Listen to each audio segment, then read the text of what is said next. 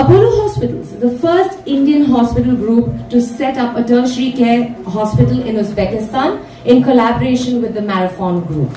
It gives me great pleasure to welcome on the dais our chief guest for the occasion, Mr. Fakhruddin Ilyasov and Dr. Nurilo Mama co-founders of Marafon Group, and our beloved founder and chairman, Dr. Pratap C. Reddy, our dynamic executive vice chairperson, Ms. Preeta Reddy, and President Group Oncology, Mr. Dinesh Madhavan.